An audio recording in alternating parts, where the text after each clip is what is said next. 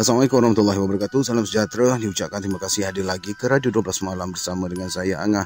Baik, sebelum saya teruskan kisah ni, uh, untuk makluman ada yang juga minta pada saya untuk kalau berkenaan tentang uh, bacaan doa ataupun mantra tu minta dibacakan terus. Uh, tapi dia lebih kepada doa tu lah minta saya bacakan. Saya bukan apa sebab ada terbaca komen daripada followers kita kawan-kawan kita yang lain. Uh, pernah dia cakap bagi saya logik lah. Uh, takutnya sebab dalam kisah saya menceritakan tu dia ada kisah bagaimana nak menggunakan per sekian-sekian kan. Barulah pergi kepada doa tu kan. Yang kita takutnya adalah di mana penonton kita nanti kawan-kawan kita ni mengamalkan ayat di situ uh, tanpa berguru saya takut jadi lain. Uh, macam kisah sebelum ni saya ada baca kisah uh, daripada Tamar Jalis eh berkenaan tentang ular saja kan. Uh, nah jadikan cerita masa saya terlibat dengan misi mencari orang hilang eh masa kejadian tu rupanya di rumah saya ada seekor ular yang begitu panjang. Ular tedung yang beritahu. Uh, dia lalu. Dia lalu uh, dia orang nak ketuk masa tu pun tak boleh lah sebab dia dah panggung tinggi. Dimaklumkan macam tu. Jadi saya rasa macam tak syok lah demi keselamatan diri saya dan keluarga jugalah. Uh, jadi saya minta maaf sangat. Di mana doa-doa dan juga mantra saya akan cuba skip. Uh, saya risau takut ada kejadian buruk yang akan berlaku. Baik di sini saja pun uh, dah seminit uh, lebih eh. Saya harap uh, dengan penerangan ringkas tu dapat uh, kawan-kawan yang mana baru join uh, akan faham kenapa saya skip. Uh, okay, bye-bye. Kita akan teruskan dengan kisah daripada Tok Awang ah episod yang ke-131 uh, yang bertajuk Bahana Dendam Puaka Capek. Terlalu banyak kelkatu terbang menghurung lampu di siling rumah sampaikan makan malam pun terpaksa ditangguhkan. Biarlah selepas isyak baru menjamah nasi supaya kelkatu yang banyak itu terbang semula keluar rumah. Tetapi angin bertiup perlahan di luar menyebabkan kelkatu tersebut masuk ke tengah rumah. Kalau di kampung, tentu Mak Ngajiah sudah berkira-kira mencari cendawan busuk selepas habis solat subuh. Tahu sangatlah Mak Ngajiah kalau sebelah malamnya kelkatu masuk ke dalam rumah. Memang cendawan busuk tumbuh merata. Biasanya Mak Ngajiah akan jengah di bawah rumpun pisang kelat di baruh dapur. Macam dapat saja dia mengagak, di situlah cendawan busuk banyak tumbuh sekiranya kelkatu terbang meliar menerpa lampu. Maka cepat-cepat pula lah Mak Ngah Jiah tadahkan besen air di tengah rumah biar kelkatu berkenaan menjuram ke situ. Bukan menjuram, eh, menjunam. Tetapi ayah saya akan gantungkan lada besar berdekatan dengan lampu sekiranya kelkatu banyak berterbangan menghurung lampu. Ayah saya tak percaya sangat. Mengenai cendawan busut banyak tumbuh kalau kelkatu banyak berterbangan. Kadang-kala Sengaja emak saya mengejeknya apabila terserempak cendawan busuk di sebelah pagi apabila kelkatu banyak berterbangan di sebelah malam. Sampaikan tengah menyudu sup cendawan busuk pun emak saya akan mengejeknya. Tetapi ayah saya tak peduli apa-apa. Dia percaya semuanya berlaku secara kebetulan sahaja. Tak ada pun kait mengaitnya cendawan busuk yang banyak tumbuh dengan kelkatu yang berterbangan menghurung lampu. Disebabkan kelkatu banyak berterbangan, cepat-cepatlah isteri saya padamkan lampu. Biarlah kelkatu di tengah rumah keluar menghurung lampu di tepi jalan. Sudah tentulah pula burung layang-layang menunggu peluang untuk menyambar kelkatu yang menghurung lampu di tepi jalan itu. Manalah nak cari cendawan busuk tumbuh? Keluh isteri saya setelah menutup makanan dengan tudung saji di atas meja. Tunggu, dekat pasar. Sengaja saya mengusik sambil mengerling ke arahnya. Tentu orang jual di pasar kalau cendawan busuk banyak tumbuh. Ujar saya apabila kenangkan Mak Ngajiah akan terbongkok-bongkok memastikan di rumput di rumpun pisang kelat di paruh dapurnya. Cendawan busuk tumbuh apabila malamnya kelkatu banyak yang berterbangan. Bukan Mak Ngajiah sahaja yang percaya cendawan busuk akan tumbuh sekiranya kelkatu banyak berterbangan di sebelah malam. Andak Libet pun percaya benar. Dia tak peduli yang anak-anaknya mengejeknya apabila pagi-pagi lagi sudah menjengah di belukara senduduk di darat rumah. Di situ tempat cendawan busuk sering tumbuh menguntum kalau kelkatu berterbangan di malam hari. Macam benarlah anda libit tempat cendawan busuk tumbuh di belukar senduduk itu. Biarlah siapa pun mengejek dia kerana percaya sangat dengan perkara tahyul demikian. Tetapi anda libit akan tersenyum puas apabila cendawan busuk penuh sekendong kain dibawa balik. Bukan anak-anaknya sahaja yang tersengih-sengih, malah suaminya Semail Bujuk juga tidak ketahuan disebabkan mengejek dia sebelum itu. Asal saja kelkatu banyak berterbangan menghurung lampu, memang isteri saya ingat sangat anda libit di lenggung. Sudah lamalah kejadian kelkatu banyak masuk ke rumah itu berlaku, lebih 30 tahun yang dahulu. Kadang-kadang saya sendiri sudah lupa mengenai kejadian itu semasa Acik Mikon menetap di sana. Memang jalan ke rumah Acik Mikon itu melintasi di hadapan halaman rumah Andak Libet. Berjalan kaki sahaja dari jalan Tanah Merah berdebu apabila turun bas. Tidak ada jalan minyak tar melalui kampung berkenaan ketika itu. Lainlah macam sekarang ni dah banyak jalan minyak tar. Bas ah, bas juga masuk jauh ke dalam kampung. Tetapi sewaktu Acik Mikon menetap di sana, sekeliling kampung pun masih belukar sampai ke rumput di tepi jalan pun banyak puyuh yang membuat sarang. Semenjak Acik Mikon sudah masuk Felda, memang tak pernah lagi saya jejakkan kaki ke Lenggung. Kalau ke sana pun semata-mata ziarah Acik Mikon, bapa saudara isteri saya. Beberapa kalilah dia buat kenduri kahwin, menikahkan anak-anaknya. Memang tak pernah saya hadir sama. Oh, maaf. Memang tak pernah saya tak hadir sama. Hanya kejadian semasa ke rumah Cik Mikon di Lenggong itulah masih segar dalam ikan ingatan isteri saya. Apakala kenangkan kelgatu banyak berterbangan di dalam rumah yang menghurung lampu di siling. Banyak cendawan busut ni. Tersengih-sengih cu selemah memberitahu Cik Mikon tak kala dia menadah besen berisi air biar kelkatu yang berterbangan menjunam ke situ. Angin di luar tu kuat. Sebab itulah kelkatu masuk ke rumah. Sahut Acik Mikong tidak percaya sangat dengan kata-kata isterinya lantas mengerling ke arah saya. Tu kamu tu memang macam tu. Asal saja kelkatu banyak. Konon-kononnya adalah cendawan busut. Tersengih-sengih dia mencubit bibir. Kalau ada cendawan busut, boleh je kita rebus. Isteri saya menambah dengan harapan tekaan cu selemah itu akan menjadi kenyataan. Manalah tahu cendawan busut akan banyak tumbuh di sebelah baru rumah di perdu pokok rambutan. Nanti kita cari ya. Ya. Cucu selemah merasakan dirinya dicabar oleh Acik Mikon. Besok, kalau kita jumpa cendawan busut, jangan kita bagi pada Acik kamu tu jamah. Gerutunya macam menyimpan dendam. Tetapi Acik Mikon sekadar ketawa. Dia tahu istrinya cuma bergurau. Masakanlah Cu Selmah ni tak bagi dia untuk jamah makanan cendawan busuk tu kalau sudah dihidangkan. Haji Mikong bergema juga apabila melihat sup cendawan busuk tengah berasap panas. Mengiruk kuah pun sudah memadai kalau sup cendawan busuk dihidangkan di hadapannya. Dia sekadar tak percaya je dengan kelkatu yang berterbangan tengah rumah menunjukkan cendawan busuk akan tumbuh esok harinya. Cendawan busuk mudah tumbuh apabila musim hujan tak kala tanah lembap. Lambat saja dikutip kuntumnya akan mengambang. Cendawan busuk itu akan busuk berulat kalau tak ditemui menjelang tengah hari. Acik Mikon sendiri akan beli cendawan busuk kalau terserempak dijual orang di Pekan Rabu. Biarlah seringgit beberapa kuntum sahaja Acik Mikon akan beli juga. Kepalang sedapnya cendawan busuk, masak sup ataupun digulai masak lemak kuning cili padi. Perkara cendawan busuk tumbuh di tanah lembap tidak ada kena-mengena dengan kelkatu yang menyerbu masuk ke tengah rumah menghurung api pelita. Kalau tidak disebabkan kilauan api, nescaya kelkatu berkenaan takkan masuk pun. Dalam keadaan gelap malam di luar, kelkatu berkenaan tak dapat bertahan dengan tiupan angin. Sebab itulah kelkatu yang banyak akan menyerbu mencari cahaya berkilau di dalam rumah. Pagi-pagi besok kita cari. Cu Selemah berjanji mengajak isteri saya sama-sama ke baru rumah. Memang pagi lagi Cuk Selemah sudah mengajak isteri saya ke perdu pokok rambutan di baru rumah. Dia memerhati di celah rumput yang memanjang. Tetapi tidak sekuntum pun cendawan busuk tumbuh di situ. Puas mencari di perdu pokok rambutan. Cuk Selemah mengajak pula ke tubir telaga. Sampailah matahari naik segala, memang mereka tak bertemu pun cendawan busuk yang tumbuh.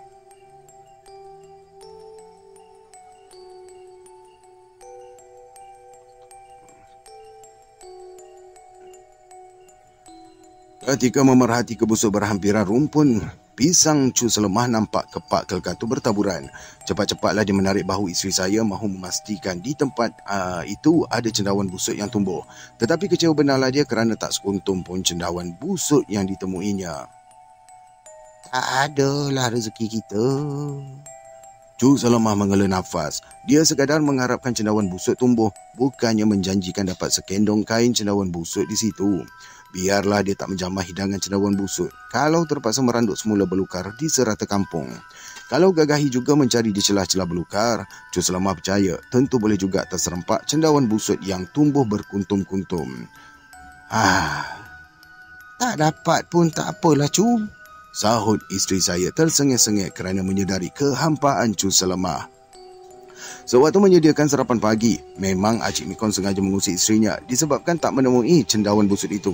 Tetapi Cik Selamah tak pedulikan sangat. Perkara sama ada menemui cendawan busut ataupun tak selepas kelkatu berterbangan di sebelah malam bukannya menjadi kesalahan pada diri dia. Dia sekadar mendengar petua orang tua-tua. Kalau kelkatu banyak berterbangan dalam rumah, itu menunjukkan yang cendawan busut tumbuh banyak di mana-mana. Sekiranya tidak ditemui cendawan busuk itu. Tentulah bukan rezekinya.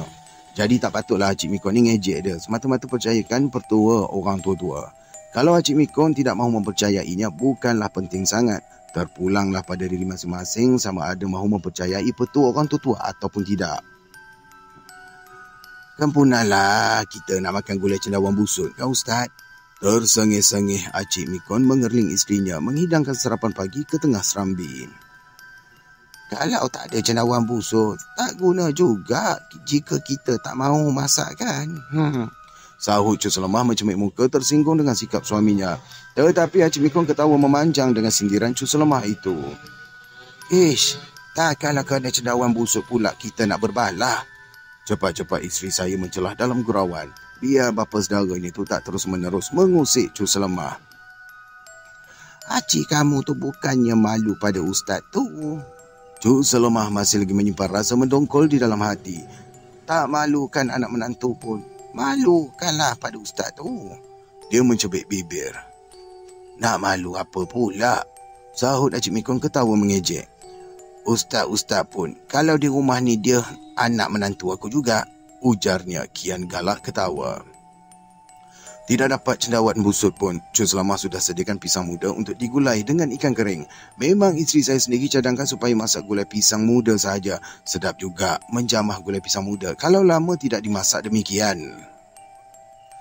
Cepat sediakan masakan, bolehlah cepat pula kami balik. Kalau terlambat, bimbang pula ketinggalan bas. Ketika itu tidak banyak bas pengangkutan di situ, apalagi melalui jalan tanah merah yang berlubang-lubang. Kadang-kala berdebu sampai ke rambut pun disinggahi tanah merah apabila bas melalui jalan berkenaan. Tetapi lebih 30 tahun dahulu memang tak sama dengan sekarang. Jalan ke kampung Acik Mikon di Lenggung itu sudah pun diturap dengan tar. Bukan bas buruk lagi yang melalui jalan berkenaan, tetapi bas ekspres yang selesa dinaiki. Sekali-sekala sahajalah Acik Mikon ni balik ke kampungnya kalau dijemput kenduri kahwin sanak saudara. Semenjak menetap di Felda, memang Acik Mikon tak peduli sangat mengenai kampung halamannya. Kalau tidak ada hal penting, apalah gunanya membazir ruang balik ke kampung halaman kerana di, kerana di Felda itu pun sudah menjadi kampung halamannya juga. Sewaktu Cu Selemah bersama dengan isteri saya menyiang pisang muda untuk dimasak gulai dengan ikan kering inilah, anda libit terkedek-kedek datang bawakan sebesen kecil cendawan busut. Dia juga tahu saya datang menjengah Haji Mikon dan bermalam di situ. Sebab itulah diberikan cendawan busut yang ditemuinya di bawah perdu rumput pisang di baruh dapur. Jam sangatlah anda lipit. Uh, asal saja kelkatu banyak berterbangan di dalam rumah semalaman. Pagi-pagi lagi dia akan jengah ke perdu rumput pisang. Pisang kelat eh, di baruh dapur. Tentu cendawan busut banyak tumbuh menguntum di tanah yang lembab. Sekiranya lambat dijengah, dah tentu dikekas ayam pula. Betapa ruginya dia kalau ayam mengekas terlebih dahulu sebelum dia mengutip. Bukannya mudah mahu mencabut cendawan busut yang tumbuh menguntum kalau tidak diikut petuanya. Bila-bila cendawan busut itu akan terputus semasa ditarik keluar. Tahu sangatlah anda libet fasal petua mencabut cendawan busut supaya tidak terputus habis. Dia akan jentik dahulu tanah di perdu rumpun pisang tiga kali. Lantas berselawat tiga kali. Kemudian dia akan menyeru dengan perlahan. Kat sini ada mantra eh, sebab dia ada sebut nenek. Eh. Uh, saya akan abaikan. Jom kita teruskan. Dia akan memerhati cendawan busut yang tumbuh berselerak itu. Sekiranya kuntum cendawan busut itu mengembang, anda libit tidak akan menyentuh sekuntum pun. Sudah menjadi petua yang dipantangkan oleh neneknya. Dia tidak boleh berkeras mengutipnya. Kalau dikutip juga, nescaya semua akan putus tidak berguna apa-apa lagi. Tahu sangatlah anda libit sekiranya dikutip juga cendawan busuk yang kembang kuntum setelah dibacakan jampi petuanya. Nescaya tak sempat dibawa balik ke rumah. Semuanya akan menjadi lebur macam lumpur yang diramas. Setelah dibacakan jampi petuanya, memang cendawan busuk itu mudah dicabut macam mencabut rumput di tengah lumpur sawah. Sebab itu dia tidak bertangguh. Sebab itulah dia tidak bertangguh membacakan jampi petua. Sebaik saja ternampak dua tiga kuntum cendawan busuk di perdu rumpun pisang. Sebaik saja dibacakan jampi petuanya, di merata tempat cendawan busuk tumbuh menguntum banyak. Ada pula rezeki ni sikit. Ha, Jelas anda libit semasa menyerahkan uh, besen penuh berisi cendawan busuk itu. Eloklah dimasak sekarang ni. Nanti kalau tunggu petang dia kembang pula. Ujarnya setelah bermurah hati memberikan sebahagian daripada cendawan busuk yang dikutipnya. Saya cari juga tadi tapi tak dapat. Cu selemah pula memberitahu pasal dia meranduk empun uh, merendok meranduk embun pagi di tepi belukar senduduk di darat rumah. Kalau dia nak bagi, mudah je kita jumpa. Kalau tak nak bagi, memang jenuh mencari pun tak akan jumpa. Tersengih-senggihlah anak libit menatap muka isteri saya. Memang sekali sahaja kami kelenggung, tetapi jiran-jiran Encik Minkon semuanya melayani kami dengan baik. Kalau balik pun akan diberikan dengan ubi kayu, pisang ataupun keladi. Terasa jugalah berat mahu menjinjing sewaktu menaiki bas. Tetapi saya bimbang mereka ni akan berkecil hati. Jadi terpaksa jugalah ah, terima walau apa pun yang mereka beri. Apa? Beri kuat eh? Dia dah start typo kau-kau eh. Terpaksa juga diberi apa pun yang mereka beri. Kuat bekalan. Oh bukan kuat. Buat, buat. Terpaksa jugalah diterima apa pun yang mereka beri buat bekalan balik. Baik. Lainlah kalau ada kereta sendiri, boleh juga diperosokkan semuanya di bonet belakang. Masa 30 tahun dahulu, memang bas itulah kenderaan pengangkutan yang menjadi pilihan. Terima kasihlah anda. Dapat juga kami merasa cendawan busuk ni. Ujar isteri saya memerhatikan anda libet di pelantar rumah. Tidak bertangguh pula, Cu selemah masak cendawan busuk celur air sahaja disebabkan pisang muda sudah digulai dengan ikan kering. Sekiranya lambat memasak, bimbang pula saya yang akan ketinggalan bas. Bukannya banyak sangat bas yang masuk ke kampung melalui jalan Tanah Merah tu.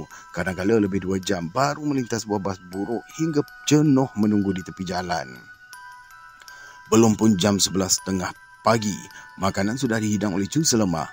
Memang dia desak juga saya suami isteri makan nasi terlebih dahulu sebelum balik. Sekali-sekala datang menjengah ke lenggung, tentulah diterkilan sekiranya tidak dapat melayani saya suami isteri dengan sempurna. Sebaik saja nasi terhidang, Acik Mikon tak bertangguh menghirup kuah cendawan busuk celuk air. Tersengih-sengih dia mengerling cu selemah bagaikan mengejek perempuan itu kerana dia dapat menikmati rebus celur air cendawan busuk itu. Tak perlu pun bersusah payah terbungkuk-bungkuk mencari merata belukar tetapi dihantarkan sampai ke tangga rumah oleh andak libit. Tahu sangatlah Cik Mikon, sekiranya dicari bersungguh-sungguh, siapa pun tak akan terser, takkan terserempak cendawan busuk tumbuh menguntung banyak. Mereka yang menemui cendawan busuk itu bukan terniat langsung mahu mencarinya. Acik Mikon pun pernah menemui cendawan busuk sewaktu mengheret kambing tepi belukar mencari rumput muda tengah menghijau. Sebaik sahaja sampai di perdu pohon enau, dia nampak memutih sahaja kuntum cendawan busuk di bawah rumput yang menghijau itu. Memang dia ni tak berniat langsung mahu mencari cendawan busuk. Dia juga tak cam sama ada kelkatu banyak berterbangan di sebelah malamnya ataupun tidak. Lantas saja dia mengutip cendawan busuk yang banyak menguntung sampaikan tak sempat ikatkan kambing-kambingnya. Rezeki ustaz ni. Beritahu wajib Miko menghulurkan pinggan sebaik saja saya duduk di hadapannya. Rezeki kita bersama ni. Sahut saya perlahan berselera memerhatikan cendawan busuk yang dihidangkan. Teringin juga saya mahu bertambah disebabkan berselera benar makan sayur cendawan busuk dan gulai pisang muda campur ikan kering itu. Tetapi terpaksa juga membasuh tangan setelah berasa kenyang sedikit. Memang segera makan tidak boleh diikutkan sangat. Terutamanya tak kala menikmati uh, makanan yang lazat. Cukuplah dengan terasa kenyang sedikit untuk berhenti makan. Sekiranya mahu menjamah lagi, tunggulah sehingga terasa lapar semula. Jadi inilah amalan saya apabila menghadapi hidangan yang menyelerakan. Apalagi masak sayur cendawan busuk itu memang kegemaran saya sejak masih kecil lagi. Bukan cendawan busuk sahaja yang menyelerakan saya, malah cendawan kulat yang tumbuh di pokok getah tumbang pun sedap dimasak gulai lemak kuning cili padi. Cepat sajalah Tok Haji menyuruh berhenti makan apabila dilihatnya saya terlalu gelojoh makan gulai cendawan kulat masak lemak kuning uh, cili padi itu. Selepas makan, tidak bercadang pula saya mahu balik uh, dan uh, apa ni selepas makan tidak bercadang pula saya mahu menunggu zuhur segeralah saya berkemas-kemas mahu balik Kalau terlambat, tentulah ketinggalan bas pula yang melintas jam 1 tengah hari.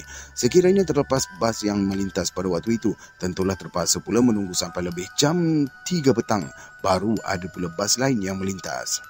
Sebaik saja mahu turun mencincin beg, Semail bujuk terjegat di tengah halaman memanggil Acik Mikon.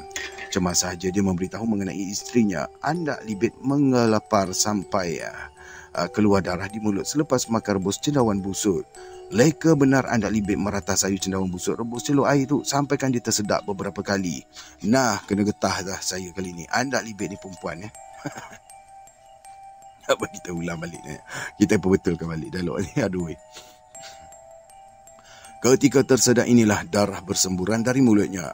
Apabila Semail bujuk cuba membantu, anda libit sudah menggelepar dengan terbalik mata. Segaligus pula darah merenik-renik keluar dari bulu rumahnya laksana memercik peluh.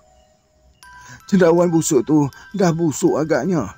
Kalau Semail bujuk menuduh tak kala bergegas-gegas mendesak Cik Mikon segera naik ke rumah, saya juga terpaksa batalkan balik ke tempat kerja setelah diberitahu mengenai kejadian yang menimpa anda libit. Aku pun makan cendawan busuk yang dihantarnya tadi. Sahut Cik Mikon tak percaya yang cendawan busuk itu yang menjadi punca. Seisi rumahnya juga sama menjamah sup celur air cendawan busuk yang diberikan oleh anda libit. Tak seorang pun yang mengelepar sampai termuntah darah. Tentu cendawan busuk itu beracun. Semakin cemas Semail bujuk duduk di sisi isterinya. Kalau beracun, tentulah aku pun kena. Kau ni. Acik Miko mencepat bibir mematikan darah di rekahan bibir anda libit. Bulu rumahnya juga memelcik darah merenik-renik. Kami semua dah makan sayur cendawan busuk tu. Beritahu Cu Selemah bercampur bimbang apabila kenangkan sayur cendawan busuk yang diberikan oleh anda libit. Tetapi cendawan busuk yang diberikan oleh anda libit itu, dia sendiri yang masak. Bukannya sayur cendawan busuk yang sudah siap dimasak oleh yang diberi oleh anda libit. Tentulah bukan berpunca daripada sayur cendawan busuk itu menyebabkan anda libit menggelepar termuntah-muntah darah. Lantas sahaja Cu Selemah mengagak yang perencah dimasukkan ke dalam belanga memasak itulah yang mengandungi racun. Manalah tahu kalau garamnya yang dicampur oleh anda libit ke dalam belanga itu adalah baju pokok yang disangkanya garam masak. Tetapi guna baju pokok bukannya diletakkan ke dapur. Memang diperosok oleh Ismail Bujuk di tepi reban ayam. Cepat saja Cu Selemah menuduh baju pokok dicampakkan ke perdu rumput pisang di baru dapur menyebabkan cendawan busuk yang tumbuh menguntung mengandungi racun. Apabila kenakan cendawan busuk tumbuh disebabkan baju pokok, bimbang juga Cu Selemah sekiranya dia juga akan menerima bahana. Kita jaga tangkal bisa dulu.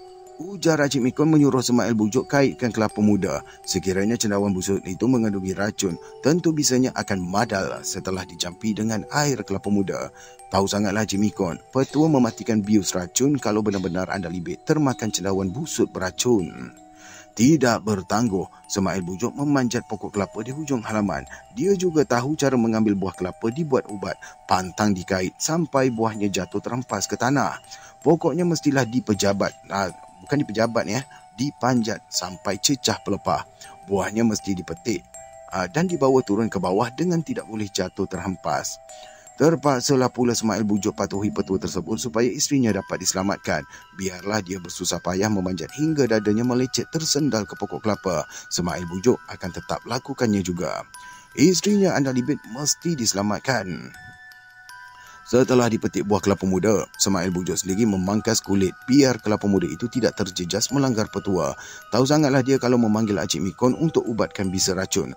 Memang banyak petua yang mesti dipatuhi. Sudah beberapa kali dia mengikut Acik Mikon mengubat, mengubati orang yang terkena bisa racun hingga dia cam sangat pantang larang yang diamalkannya. Dia tebuk tempurung kelapa muda itu dengan uh, boleh ditutup semula kulit tempurungnya. Kemudian dimasukkan tiga butir ibu garam sebelum dihulurkan kepada Acik Mikon. Sebaik saja buah kelapa muda itu disorongkan ke hadapannya. Lantas Acik Mikon memusingkannya tiga kali. Kemudian perlahan dia membacakan.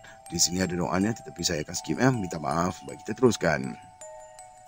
Tiga kali dibacakan doa oleh Haji Mikon. Tiba-tiba jari telunjuknya lurus tidak dapat dibengkokkan.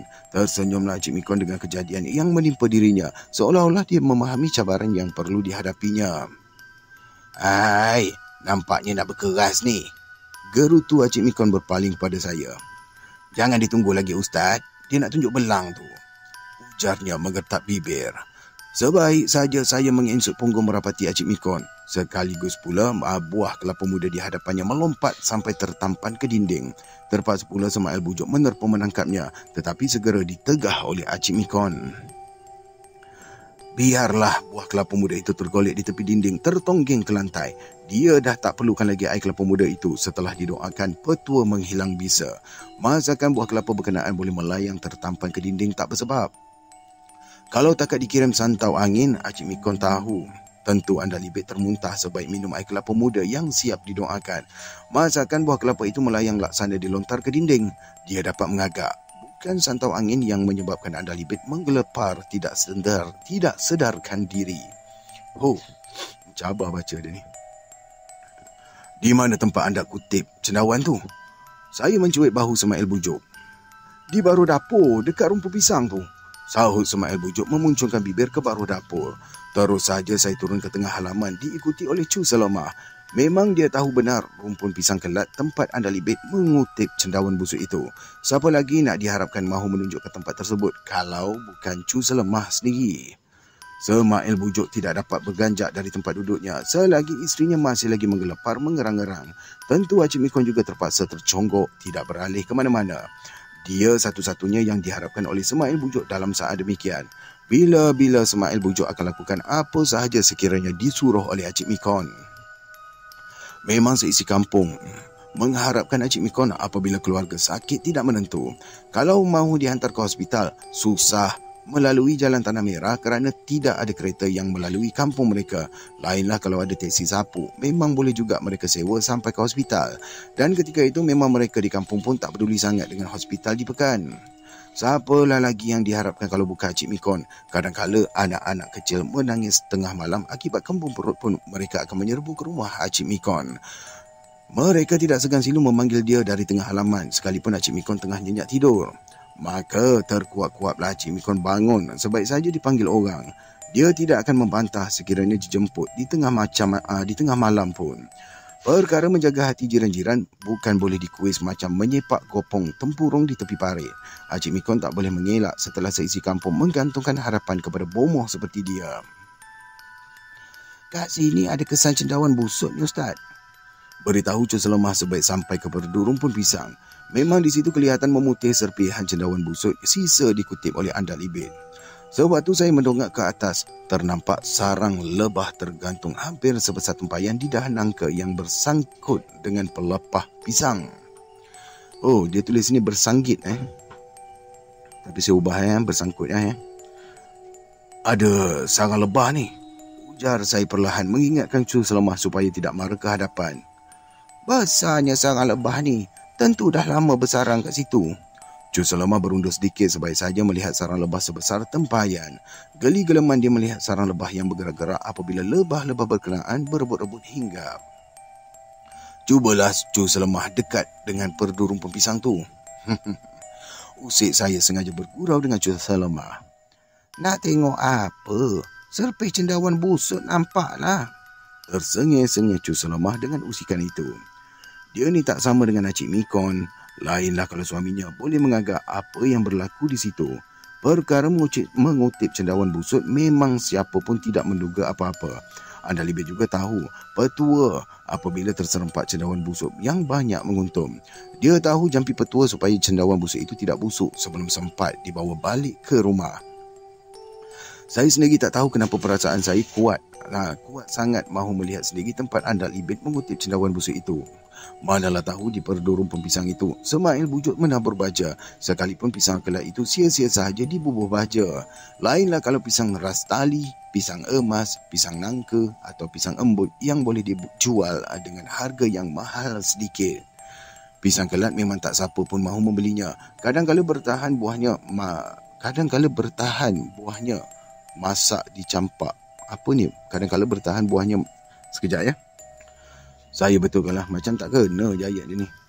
Kadang-kala buahnya yang masak dicampakkan saja oleh Semail bujuk ke tengah halaman biar dimakan ayam atau itik. Hanya sekali sahaja Acik Mikon perlukan pucuk bulatnya.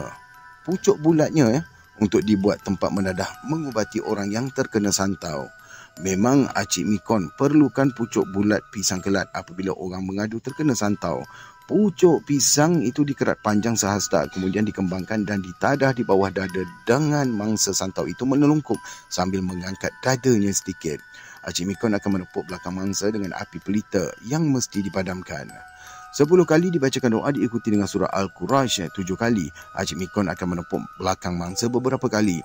Dan selepas itu dia akan menyuluh ke atas pucuk pisang yang ditadahkannya hinggalah nampak merenik-renik serbuk kaca bercampur miang rebung dan serpihan bangkai ulat bulu di situ. Sebab itu sengaja uh, Semail Bujuk ni pelihara rumpun pisang kelat itu biar mudah sesiapa mahu gunakan pucuk bulatnya tak kala Cik Mikon memerlukannya untuk berubat. Beberapa kali juga Cik Selamah merungut kerana menuduh disebabkan pucuk pisang kelat itu digunakan mengubati orang kena santau. Kemungkinannya anda libit bagaikan termakan santau apabila menjamah sayur cendawan busuk yang tumbuh di perdu rumpunnya. Tetapi saya mengingatkan dia mengenai sayur cendawan busuk itu juga sama-sama dimakan oleh keluarganya setelah menerima pemberian anda libit. Kenapa pula seisi rumah Cik Selemah termasuk saya dan isteri saya tak mengalami keracunan? Dalam keadaan serba salah itulah, saya menyuruh Zul selemah duduk bertimpuh tidak jauh dari rumpun pisang. Saya menyuruh dia pejamkan mata dengan membacakan Al-Fatihah 17 kali, Surah Al-Ikhlas 17 kali dan Ayatul Kursi 17 kali. Sebaik saja Cu Selamah selesai membacakannya, saya ketuk dahinya dengan jari telunjuk dengan membacakan. Di sini ada doanya tetapi saya takkan uh, baca. Eh. Ini nanti ada pula yang mengamalkan pula kan. Nampak macam-macam. Nampak Yapin ke apa pula kan. Ha, bahaya. Ha. Beberapa minit saja tiba-tiba Cu Selemah menggeletar dengan peluh memercik di dahi. Jarinya menuding ke arah perdu rumpun pisang kelat dalam keadaan yang ketakutan. Kalau tenaganya gagah, memang Cu Selemah akan melompat lari. Tetapi saat ini dia sekadar tercungguk dengan tidak ada tenaga apa-apa. Kenapa Cu? Bisik saya meletakkan telunjuk di atas ubur-uburnya. Hei, orang tua di perdu rumpun pisang tu. Keluh Cu Selemah, serba salah. Orangnya capek kaki, tapi kuku jarinya tajam. Macam nak cengkam tengkuk anda libit. Ujar Cu Selamah terketar-ketar suara menahan ketakutan. Hmm, jangan takut. Syaitan takkan boleh lawan ilmu manusia. Lantas saya mengingatkan Cu Selamah. Kemudian saya pusatkan ibu jari ke uh, ibu jari telunjuk. Uh, ibu jari telunjuk eh. Kemudian saya pusarkan ibu jari telunjuk ke ubur-uburnya dan menyuruh dia membacakan surah Al-Ikhlas sebelas kali dihembuskan ke arah lembaga lelaki tua berkaki capit di perdu rumpun pisang itu. Tersenyumlah Cu Selama memberitahu yang hembusannya mengeluarkan api hingga ke melecur sebahagian tubuh lembaga berkenaan. Ketika ini juga terdengar jeritan anak libit dari tengah rumah. Setelah saya bisikkan kepadanya supaya bertenang, Cu Selama semakin berani mengukuhkan duduk timpuhnya. Pandangannya tajam merenung ke perdu rumput pisang dengan mencebik bibir.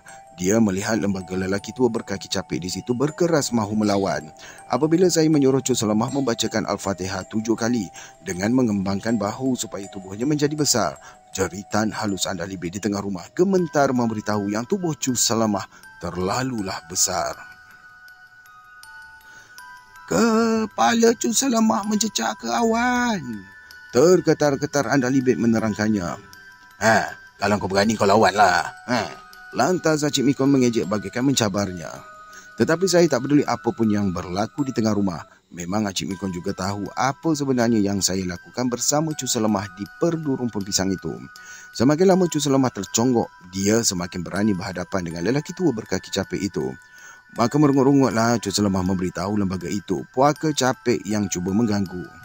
Marah benarlah dia dengan puaka capek itu sengaja mencari kesempatan di perdu rumpun pisang kelat. Setiap kali dia mengingatkan puaka capek itu supaya jangan berkeras mahu mengancam anak libet. Kedengaran jeritan berulang kali di tengah rumah. Puaka capek itu semakin terdesak apabila melihat saya berdiri di tengah lingkaran cahaya perdu. Uh, perdu yang memancar panas. Di sisi saya pula, anak libet nampak tubuh Cu Selamah membesar hingga kepalanya mencecah ke awan. Sekaligus pula kaki Cu Selamah sebesar bukit memijak kepala puaka capek itu. Setelah tidak kedengaran lagi jeritan anda libet, barulah Cu Selamah termengah-mengah memberitahu terlalu dahaga. Apabila saya tidak meletakkan lagi telunjuk di ubur-uburnya, Cu Selamah jatuh tergolek di atas rumput. Segera saya membacakan Al-Fatihah tiga kali dengan menjentik perlahan dahinya. Ketika ini Cut Selamah membuka mata, lantas bingkas bangun berdiri dan terpinga-pinga. Mana puaka capek tu? Gerutunya masih lagi menyimpan perasaan marah. Puaka capek yang buat angkara. Keluh Cu Selamah menggetap bibir sambil melingas-lingas memandang ke kiri dan ke kanan. Apabila saya memujuknya supaya naik semula ke rumah, Cu Selamah tidak membantah apa-apa. Dia terus naik ke rumah dalam keadaan masih juga terpinga-pinga tidak menentu. Sebaik saja naik ke rumah, dia berbaring kerana terasa pening kepala. Hampir 15 minit dia terbaring, barulah Cu Selamah segar semula. Tak pernahlah saya buat kerja macam ni. Beritahu Cik Sulama perlahan memicit-micit dahinya. Tersenyum Acik Mikon melihat isterinya termangu setelah kejadian yang dialaminya kerana ketika ini Anda Libet sudah pun duduk dalam keadaan yang sudah pulih. Macam mana? Semail bujuk mengusap rambut Anda Libet setelah isterinya meneguk minuman. Entahlah, tu selemah besarnya kamu. Bergetar suara Anda Libet menggiling lemah. Tapak kaki cu selemah macam bukit memijak kepala puaka berkaki capek tu. Katanya perlahan sambil menunduk menyebabkan Semail Bujuk tersengih-sengih mengerling cu selemah. Memang Semail Bujuk tidak tahu apa-apa mengenai uh, kejadian yang menimpa dua orang perempuan itu. Cu Selemah juga tidak bercakap apa kecuali beberapa kali mengesat pelupuk matanya. Lama selepas itu, barulah Cu Selemah beritahu jiran-jiran mengenai puak kecapik yang mahu mencengkam tengkuk Anda Libit. Bukan dia saja macam tak percaya dengan apa yang berlaku, malah Anda Libit juga mengakui mengenai puak kecapik yang mahu menerkamnya. Kalau tidak dihalang oleh Acik Mikon, memang kuku-kuku runcing puak kecapik itu sempat mencengkamnya. Memang isteri saya juga tetap ingat kejadian berkunjung ke Lenggong beberapa tahun dahulu ke rumah Acik Mikon. Apabila melihat kelkatu berterbangan menerpa lampu di tengah rumah. Kadang-kala tersenyum dia apabila kenangkan anda libik gementar apabila ceritakan fasal tubuh Cuk Selamah membesar hinggakan kepalanya cecah ke awan.